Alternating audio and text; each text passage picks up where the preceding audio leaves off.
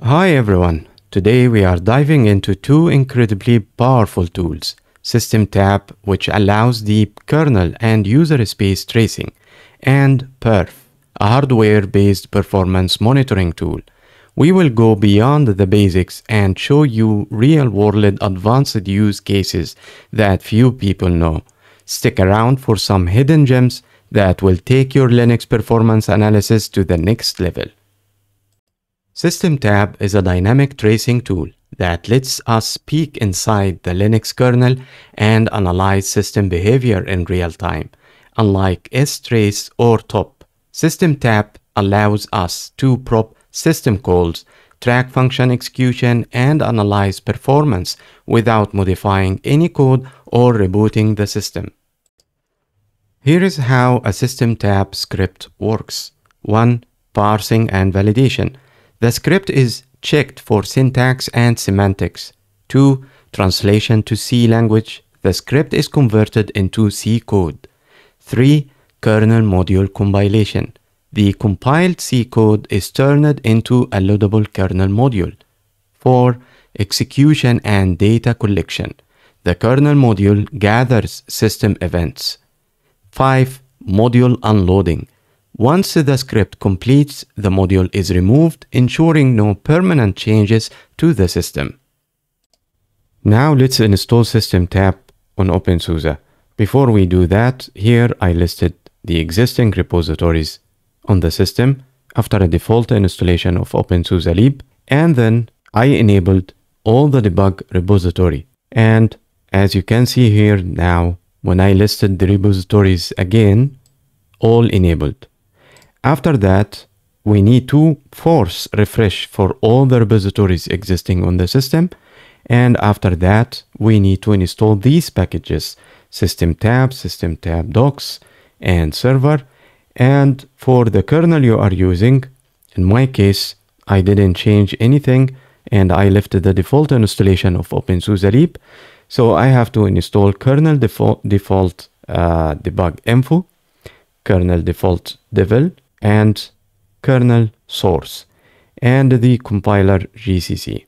So let's hit enter and we will be back later after the installation is finished. Now the installation finished. After installation, let's check if SystemTap works correctly by running a test probe as you can see. If you see output, SystemTap is successfully installed. If you get errors about missing debug info, make sure to install the kernel debug info for your kernel version. Before we start writing and running a more advanced SystemTap scripts, let's take a minute to explain SystemTap more and clarify the test script we ran after the installation. You may consider SystemTap as a framework that provides a command line interface and a scripting language to examine the activities of a running Linux system particularly the, the kernel, in fine detail. SystemTap scripts are written in the SystemTap scripting language, are then compiled to C code kernel modules and inserted into the kernel. These scripts can be designed to extract, filter, and summarize data, thus allowing the diagnosis of complex performance problems or functional problems. SystemTap provides information similar to the output of tools like netstat, ps, top, and iostat. The SystemTap command stap is a SystemTap front end, runs a SystemTap script either from file or from standard input. It translates the script into C code, compiles it, and loads the resulting kernel module into a running Linux kernel. Then the requested system trace or prop functions are performed. So now let's understand what happened here in the example we ran after the installation of system SystemTap to make sure that the installation was successful. As you can see, we ran a script of a system SystemTap written in SystemTap scripting language in a standard input, which is the terminal. And in writing a SystemTap script, as you can see that it consists of two sections, the prop event, and the handler. So the first is prop, starting the prop to prop the kernel for getting an info or information about something. So in that case, or here in this case, virtual file system getting read. So prop the virtual file system if it got or any read happen on the virtual file system. This is the handler or the prop body. So in number one, checks the script against the existing tapset library n slash usr slash share slash SystemTap slash tapset for any tapsets used. Tapsets are scripts that form a library of pre-written props and functions that can be used in SystemTap scripts. And here in pass 2 or in the second action examines the script for its components. And then number 3 translates the script to C language, runs the system C compiler to create a kernel module from it. Both the resulting C code and the kernel module are stored in the SystemTap cache in the root home folder dot SystemTap, the hidden folder under the home folder of root user. And then for loads the module and enables all the props, events, and handlers in the script by hooking into the kernel. The event begin propped is a virtual file system read. As the event occurs on any processor, a valid handler is executed. Here in this case, prints the text read performed and closed with no errors. 5. After the SystemTap session is terminated, the props are disabled and the kernel module is unloaded. So again, SystemTap scripts consists of two components, SystemTap events, the prop points, and the SystemTap handlers, prop body. So in other words, if an event happen, this is what you should run. So for the prop, name the kernel events and the associated handler should be executed. And these events can be a certain function, timer expiring, or starting or terminating a session. And the body consists of a script language statements that specify the work to be done whenever a certain event occurs. Now let's go beyond the basics. Here is a script that monitors all file read operations and prints details about each process accessing files. Also, as you can see, the script is written in the SystemTap scripting language, which is similar to AWK and C language. For more information, I will leave all the links related to the subject in the description under this video. So this script will prop the system call for read and then printing an information about it. As you can see, the exec name, name of the current process, PID, process ID of the current thread, and the FD is the file descriptor. So let's run it and see the output. And it is reading every read happening on the system or calling the read function by the system. And to be honest, to exit from this, Control C should work, but it is not working in that case. It's like infinite function. So the only way to do that is to close the terminal to end the running prop.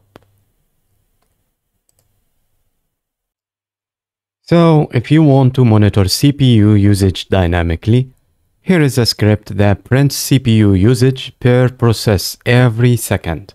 So let's run it and see the output. And you can stop running the script by pressing Ctrl C. Most people don't know that SystemTap is not just for kernel tracing. We can trace user space applications too. Here is how to monitor SSH login attempts in real time. But before we continue, so far you noticed that SystemTap scripts extension is .stp and we can say it's a convention to end with stp. And as you can see, for any software in user space you want to monitor, you need to install the debug info for that package. In that case, you have to install OpenSSH Server Debug Info and OpenSSH Debug Info. So here, this script, this lets us see every SSH authentication attempt happening in real time without modifying SSH itself. So let's run it. And now I will try to SSH to this machine from another machine. And I will enter my password there. And as you can see that it is monitoring and showing the attempt happen in real time. To exit from the script, you just hit Control C. Now let's talk about hardware-based performance monitoring with PERF. PERF is a low overhead, high precision performance analysis tool that leverages the CPU's performance monitoring unit, PMU, to capture events like CPU cycles, cache misses, and branch mispredictions. It's perfect for analyzing system-wide or per-thread performance. Let's install perf on our system by running this command sudo zypper install details and perf. So let's hit enter and let perf installed on our system. Perf installation is finished. Let's monitor CPU usage in real time. This command monitors system-wide CPU activity for 5 seconds, displaying key metrics like cycles, instructions, and cache references, helping you identify CPU bottlenecks. Let's measure memory access and usage. This measures how frequently the CPU accesses the cache and how often it fails which can help diagnose memory performance issues such as inefficient caching strategies. Checking disk I.O. activity. This captures disk read-write requests showing which processes are causing the most I.O. activity. If your system is slow due to excessive disk operations, this can help pinpoint the issue. And as you can see, we run perf record and then perf report. The first command will generate a file in the same folder you are in now. When using perf report, it will directly read the existing file. Monitoring network packet transmission. This command captures network packet transmission events, making it useful for identifying high network traffic sources and potential latency bottlenecks in real time. System SystemTap is best for deep kernel and user space analysis, while Perf is ideal for real-time performance monitoring of CPU, memory, disk, and network activity. Use them together for maximum insights. That's a wrap. We covered SystemTap for advanced tracing and perf for real-time performance monitoring. Whether you are troubleshooting system slowdowns or optimizing CPU and disk performance, these tools give you unparalleled insight into Linux internals. If this video helped you, smash that like button and subscribe for more expert Linux content. Got questions? drop them in the comments. I answer every single one. See you in the next deep dive and thanks for watching.